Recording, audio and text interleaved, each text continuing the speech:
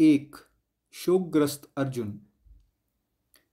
श्लोक नंबर 21 अर्जुन ने कहा, हे अच्युत, मेरे रथ को दोनों सेनाओं के मध्य ले चलें।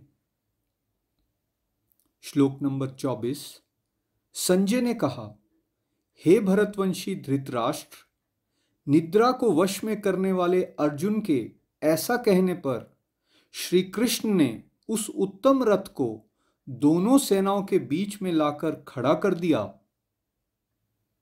श्लोक नंबर 25 भगवान श्री कृष्ण ने भीष्म, द्रोण तथा सभी महान योद्धाओं के सामने कहा, हे पार्थ, यहाँ पर एकत्रित सभी कुरुओं को देखो। कृष्णा व्यूअर्स तो अब अर्जुन भगवान श्री कृष्ण को कहता है कि भाई मेरे रथ को कृपया दोनों सेनाओं के मध्य में लेके चलिए, क्योंकि वो भी अब निरीक्षण करना चाहता है स्ट्रेंथ देखना चाहता है दूसरी आर्मी की यू नो जैसे आप असेसमेंट करते हो एज अ गुड वॉरियर आप देखना चाहते हो किससे लड़ने आए हो। और जब भगवान श्री कृष्ण रथ को मध्य में ले जाते हैं तो वो अर्जुन को कहते हैं कि देखो, यहाँ भीष्म पितामह, द्रोणाचार्य और और भी तुम्हारे, जब वो कहते हैं कौरव यहाँ उपस्थित हैं।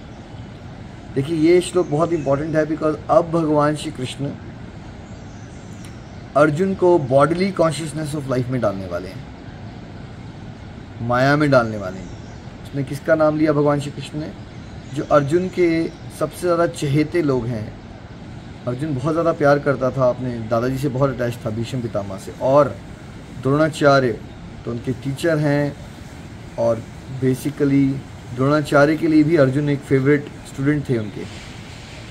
तो जब उन्होंने कहा, और अन्य कौरवों को देखो मतलब यहाँ पे ये बात हो रही है, जैसे गुरुओं को देखो, जैसे आप गुप्ता हैं शर्मा हैं तो एक फैमिली ट्री होता है आपका।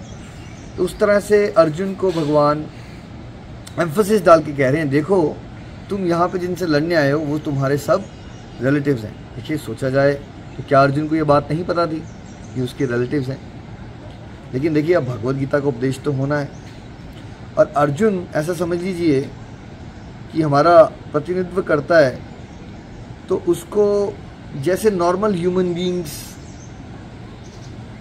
bodily consciousness life में सोचते हैं ना, अपने आप को शरीर मानते हैं और उनकी सारी समस्याएँ या प्रॉब्लम्स उससे जुड़ी होती हैं। मेरा फ़ायदा, मेरा नुकसान, मेरे रिश्तेदार। तो अर्जुन को उसी तरह की सोच में भगवान लेके जा रहे हैं।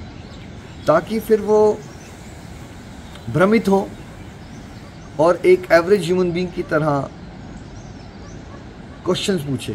क्योंकि अगर अर्जुन क्वेश्चंस पूछेगा, तभी भगवत गीता भगवान सुनाएँगे।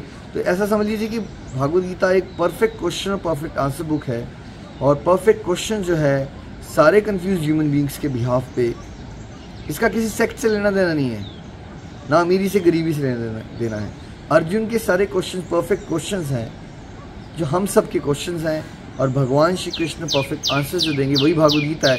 बट वो परफेक्ट क्वेश्चन और परफेक्ट आंसर्स के लिए ये श्लोक बेस बनता है, क्योंकि यहाँ से भगवान अर्जुन को ये मैसेज दे रहे हैं, और कहीं ना कहीं उसको माया में, के जाल में डाल रहे हैं।